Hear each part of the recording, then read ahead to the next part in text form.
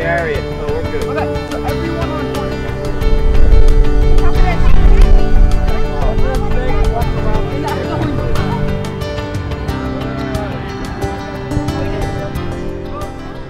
Our troop helped build these things last night and it's been fun doing all the activities.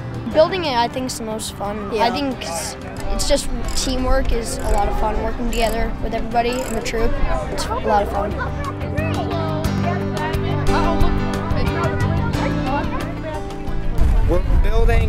Lighthouse. Very cool. How long is it taking? It's only taken probably about an hour or so. We get pretty much everybody involved if we can. I think it's important for, especially for the urban scouts, to have something like this close to home. Uh, gives them the opportunity to see what camping's all about, and the kids that don't get a chance to go out at camp as often get a chance to see what a traditional troop does. Basically, we have to get the log, put it up there, so we have to do a timber hitch on the log, throw the rope over, and pull it.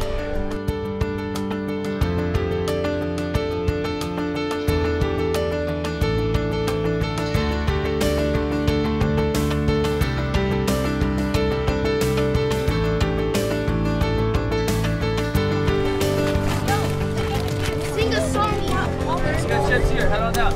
The axes and cooking. I like the cooking because you got to eat it. It's been quite a while since we've had an event of this scope, and we've got so many great volunteers that have taken the time. Planning for this has been close to a year, and you can see just by the, the attendance of everybody, you know, it's everybody's loving it, having a great time. many of us grew up with scouting, and scouting has been in our country and our nation and you know in our communities for years and years and years. And uh, uh, we at St. Chris uh, were extended the opportunity to try and help out the Boy Scouts in this region in the city, and uh, we we think that's a wonderful opportunity, and we leaped at the chance to help. Today, we're helping uh, with this uh, encampment, and we're teaching first aid and uh, trying to help them learn about uh, pedestrian safety, disaster management, basic first aid, CPR, hemorrhage control, all things that uh, young scouts could use. It's a hedgehog. How old is she? Four years old. Yo, look, you're pretty small and just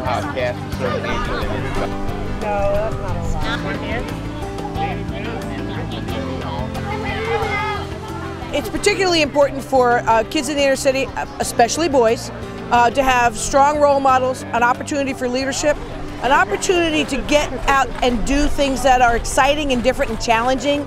But really, the thing that gives me the most hope for scouting in the city is these Scout Reach Cub Scouts out here in the blue uniforms.